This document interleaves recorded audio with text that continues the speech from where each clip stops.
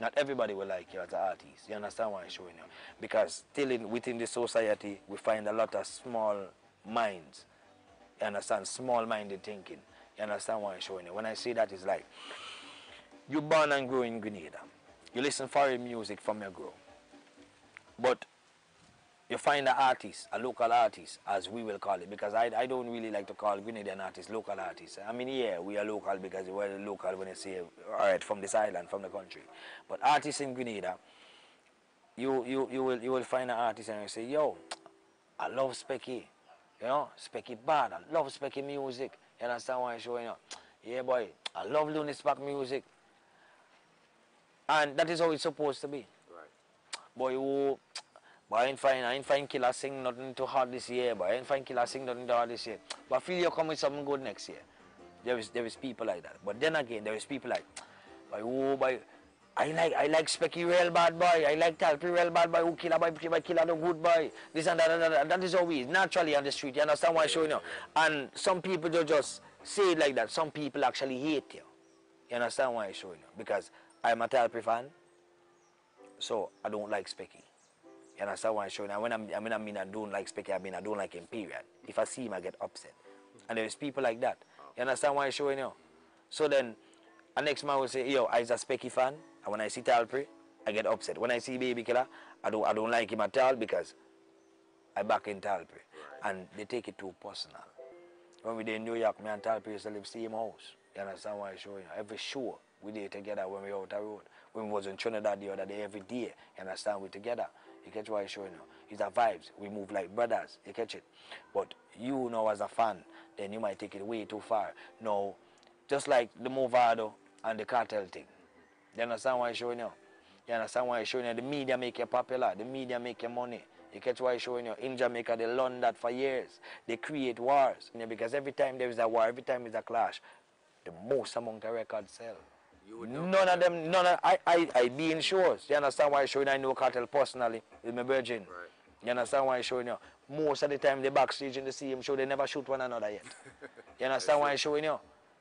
But then the youth man out the road will run down his brother and shoot him because he don't like Mavado and this one don't like Kartel and this one don't like this. You understand why I'm showing you? Because they don't understand it. Sit down and really think about it. Just the other day something happened. How easy, if I hate you so much, how come it was so easy for us to get back on stage again? And shake hand and say, yo, youth always stop that, you understand why I'm showing you? Then go after party and drink champagne and together. You understand why I'm showing you? What's something about you that nobody knows, nobody else knows? Um, I, I went to New York and stuff. I mean, things didn't really go how we planned because, you know, we all think it's a bed of roses as the old people say. And outer road is not a bed of roses. It's definitely not. You catch it? And the life take you and you live among people and when you're out there, everything is money. And if you don't have that money to give, then it's bad vibes you're going to receive. And then, you know, I started working along with some people and stuff, trying to make a little paper and thing as a youth man. All I wanted to do is record a couple songs and stuff like that, you understand? And that wasn't working out because when I work and thing, the men would just give me a little bit of paper at the end of the month, maybe $200, $300, you understand? I was doing electrical and the leather coat company down in um, Long Island and the I runs about and thing. I did all the floodlights and stuff like that and they give you $300 at the end of the month and thing like that. I end up talking to some people and stuff like that, yeah, I catch it, and I end up, anyways, to cut the story short, I end up in a basement by myself, a little basement, hiding the truth away from my mother. When she called me, I would say, yo, mommy, yeah, everything good and everything all right, and I would put on the phone and cry for hours and them thing there, catch it, and meet the wrong friends, you catch it, in the process, you know, so then I hit the street the life turn different, you know, you get kind of hardcore. You get it for a while, you understand? You do things that you don't want to do, you do things that you're not supposed to do. You understand what I'm showing you? I mean, sometimes you feel ashamed to pray. You understand what I'm showing you? Because you might go out the road and you start lose that love that you grow with, that your mother taught you, that your mother teach you. You understand why I'm showing you? Because nobody is showing you that love. I get frustrated to the point whereby it's like, at the time, I feel like, yo, Like I ready to go. It's like, Father, you can take me anytime. You understand? Because it's like I work nothing here and stuff like that. And music actually saved my life. The father life is so funny that somebody that have 50 something years could receive a knife or a fork since they was 13. Them time I ain't born yet. But that knife and fork that they got when they was 13 since before I was born is for me in the future. That is how life is. And the Father make that person sing that song for me. When I get so frustrated and feel like I work nothing and you understand, I never know what would have happened because them time I go out road and I be careless. You understand why I'm showing you? You could get shot down, you could get because you're in the wrong crowd. You understand them time they used to be down 20 second New York and fast and things that boom down Jamaican bridging and you understand why I'm showing you and in the wrong crowd. And one day when I cleaned out downstairs, them time they had cassettes, you know, and I push a cassette to the tape while I, while I sweeping out and thing, and the music playing. But then, halfway through the cassette, a song start playing. And that song is my favorite song up to this day. And I, and I look for the song, and anybody that see this interview and you know the song and you have this song on tape, I would love to have it, please. Find me where, however you can. You understand? I would love to have it. Because I never get a tape. I never get that song again after I left New York. And it's a simple song. Here what the song. The song is like this. If I was blind and I can't see the flowers blooming in the garden, I was dumb and I can't say anything I wanted to say. Was deaf and I can't hear anything I wanted to hear. I was crippled and I can't go anywhere I wanted to go. But if you can see and if you can talk, if you can hear and if you can walk, you should be grateful to the Father for what He has done. Mm-hmm. You should be grateful to the Father for what He has done. Simple tune, you know, but then it catch me attention.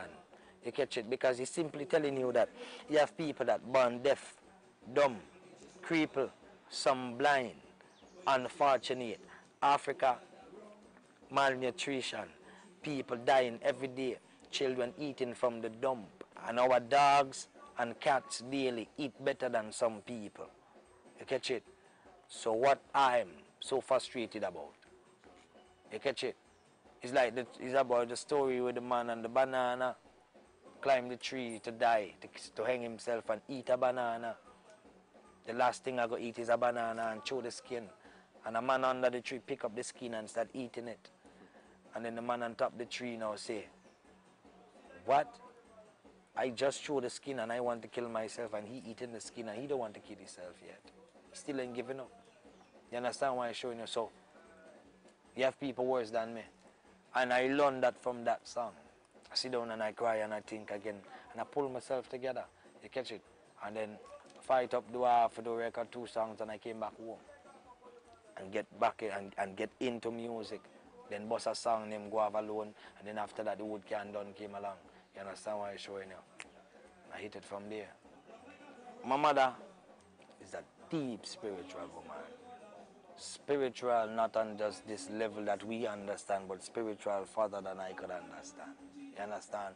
And if we study with history carefully, then we realize that the black man is a powerful man naturally.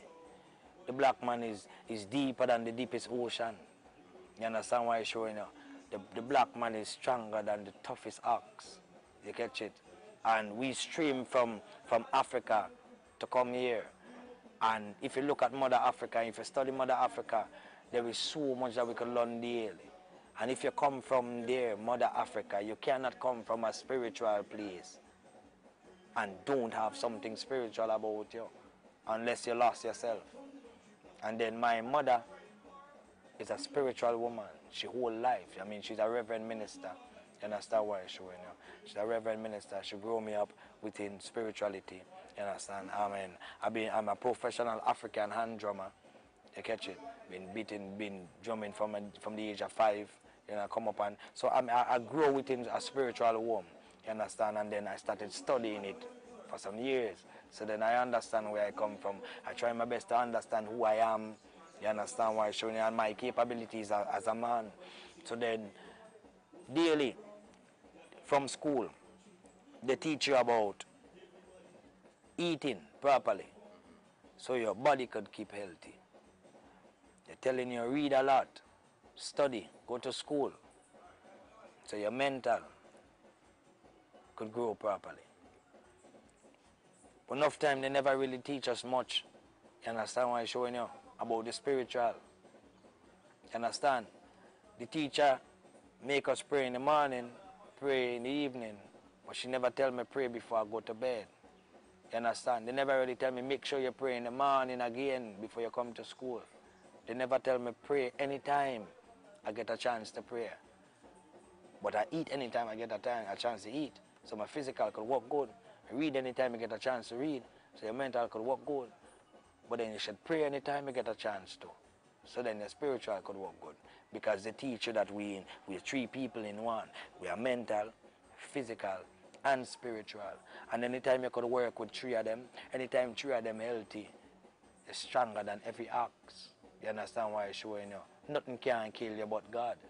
You get it? And that is my faith and that is how I grow. You understand why I'm showing you? Because then again, that is only one thing. That is like sleep. It's a cousin to sleep. You understand? Because this could only go to sleep because this is a transportation and that is my fear. We're not supposed to fear a death. You catch it? That is just a transportation and that is my belief because your soul is greater than this. Some people say, oh, we don't have this thing they call spirit or soul or this or that and spirituality is that, that. There is energy. What, what is God? You understand? You ever think about that? What is God? We believe in God every day. Enough people believe in God. We ever seen him? No. We believe by faith. God controls this whole universe. He is the energy. He is right there every minute. He's right there every hour, every second. You understand why I'm showing you? And and he could be with you and with me and with everybody else because we are part of him. We are this energy link. You understand? It's like current running through a, a, a wire. This neutrons, this protons, the electrons, everything. You understand why I'm showing you within that link? You understand why I'm showing you creating that link? And within that link, there is not a weak link. Right now, you know, with the carnival season coming and stuff like that, and I have one advice for all the youths out there. It don't make sense going out the road and fight against your brother and end up in jail. You understand why I'm showing you? Violence don't make sense sometimes. I always say, like I have a tune we go like, I defend myself but I don't look for war. I never tell you don't defend yourself. You understand your life is important. Your life before and next man. And that is how it is. You catch it. But don't go the road and look for war, man. It don't make sense. You understand why I'm showing you? Leave the cutlass home. Leave the guns home. Leave the knife home. You understand? Because it really don't make sense. You understand? Positivity. At the end of the day, go make money and give mama some. You understand why I'm showing you? That is important. Learn to give and one day you will receive. You understand why I'm showing? You? And if you give love, receive love. And if you give hate, hate you're going to get. You understand why I'm showing you? I love you guys, right? Bless up and bless up to my mother and my father and my whole family, my sister and my brother. Big up to my dancers. You understand? I was telling you, big up to FIBA, big up to Dutch Production, big up to everybody. One love to you. You understand why showing a Grenada? Boom. Take it away.